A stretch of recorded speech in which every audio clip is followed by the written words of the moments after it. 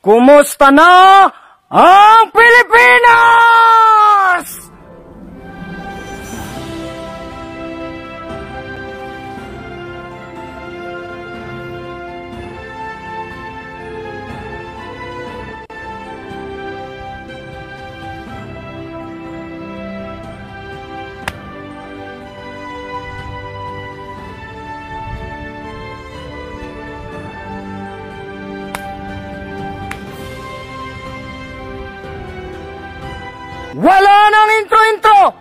Si General Bantag! Siya ang taong matibay ang integridad! Yung mga sindikato sa kanya ay hindi nakakapalag! Kaya kung pagbibintangan nyo siya, hindi kami makakapayag! Si General Bantag ay matagal nang tinitira sa social media. Ngunit hindi siya gumaganti, di ba? Ngayon pa siya gagawa ng masama na wala na ang Pangulo na kanyang kasangga. Kung maniniwala ako sa lahat ng paratang sa kanya, ang tawag sa akin ay tanga. Gumagawa siya ng tama at marami ang sinasagasa. Yung mga drug addict nagagalit kasi hindi makaporma. Tingnan nyo ngayon, gumagawa na lang sila ng pelikula. Yung totoong traidor, gagawin nilang bida. Kung naloko nyo ang iba, wag ako kasi hindi nyo pa pinapalabas pero napapanood ko na.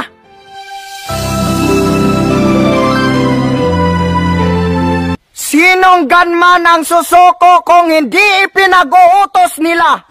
Handa ka palang makulong kapalit ang pira. Siguro pinapangakuan ka pa. Kapag lumakas ang kapit nyo, automatic laya ka na. Kung totoo na na-prim up siya, mag-ingat tayo kasi ang ibig sabihin nun, yung totoong kaaway nakaposisyon na. Ganito ang mapupulot ninyong aral. Huwag basta-basta maniniwala sa testigo ng isang kriminal. Lalo na kapag ang sindikato ay may galit sa general. Kung tuluyan siyang matatanggal at palitan ng isang angal, sinasabi ko sa inyo hindi magtatagal. Sa bilibid, magahari ang mga iligal. At masasayang lamang ang pinaghirapan ng dati nating inihalal. Tandaan nyo, ang malaking kaaway na umaapi sa atin ay ang iligal na droga. Kaya hanggat nandyan sila, patuloy tayong magiging alipin ng masasama. Nalinis ang Bucor dahil sa kanya. Kaya para sa akin, bayani siya.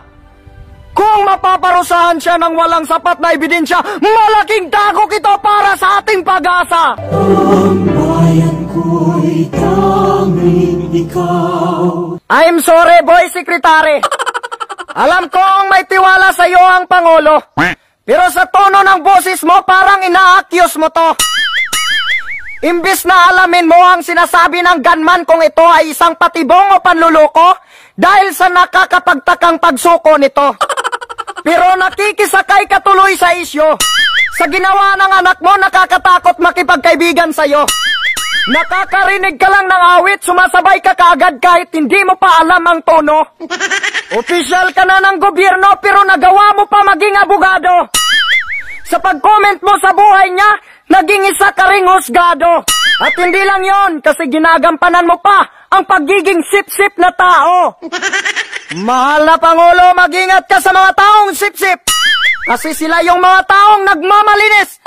Handang sirain ang iba ng dahil sa inggit. Mararamdaman mo yan kahit ikaw ay nakapikit. Kaya't sa mga matatamis na salita, huwag kang magpapaakit. Saan ka mas naniniwala? Sa taong gumagawa ng kasamaan o sa taong nagbibigay ng karangalan? Alamin mo kung sino ang totoong kakampi o kung sino ang totoong kaaway. Kung hindi dahil sa palpak na pag-iimbestiga, hindi siya madadamay. Yung mga sindikato, kapalpakan mo lang ang hinihintay. Kaya kung mabigo kang proteksyonan ng taong ito, magsisisi ka habang buhay.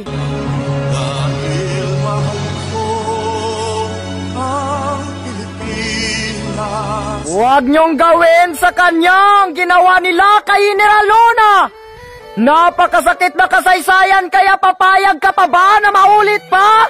Yung gagawan ka ng istorya para walang makakahadlang sa illegal na gawain nila.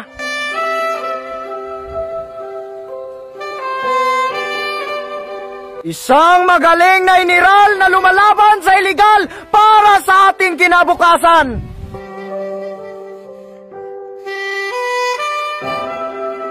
At isang magiting na iniral na lumalaban para sa ating kalayaan.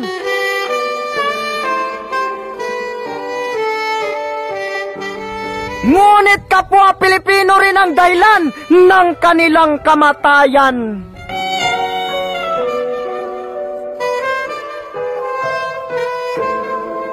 Nakakalungkot lang isipin na ganito ang sukli natin sa kanilang ginawang kabutihan.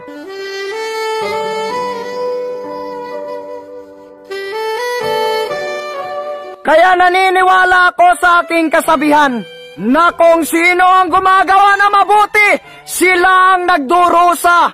At kung sino ang gumagawa na masama, protektado sila ng mga peking makabansa.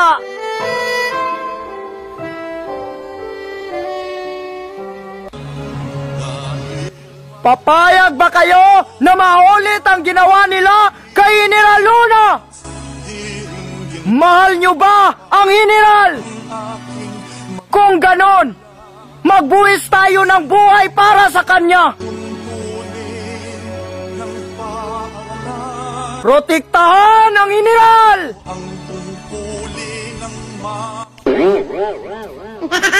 Mga kapatid, hindi natin kailangan ng sandata para talunin sila. Wala man tayong baril at bala. Ngunit tatalunin natin sila gamit ang boses ng pambansang Makata. Kailangan natin siya para sugpuin ang illegal na droga. Ngayon, yung tulong naman natin ang kailangan niya. Kaya lumabas kayo at sumigaw sa kalsada. Dahil mahal ko ang Pilipinas. Kung ikukulong ninyo ako, mas mabuti pa patayin nyo na lang ako.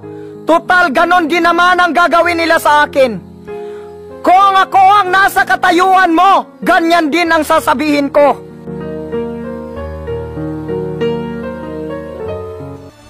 Mabuhay si General Bantag! Mabuhay ang nagtataguyod ng kapayapaan sa Bucor! Mabuhay ang kapayapaan! Mabuhay ang kapayapaan ng Pilipinas! Pangarap pagsisikap sa